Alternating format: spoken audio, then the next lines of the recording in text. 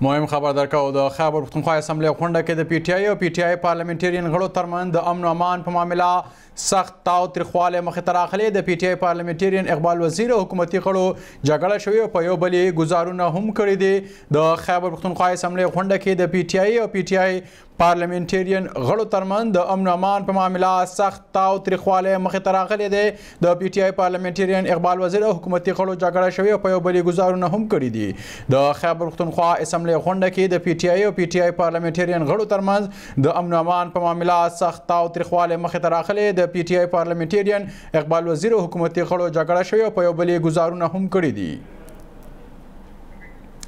د خیبر پښتونخوا اسمبلی غونډه کې د پی ټی آی او پی ټی آی پارلیمنټرین غړو ترمن د امن او امان په معاملې سخت تاو تریخواله مخې ته راغلي دي د پی ټی آی پارلیمنټرین اقبال وزیر حکومتي غړو جګړه شوي او په یو بلی گزارونه هم کړي دي د خیبر پښتونخوا اسمبلی غونډه کې د پی ټی آی او پی ټی آی پارلیمنټرین غړو ترمن د امن او امان په معاملې سخت تاو تریخواله مخې ته راغلي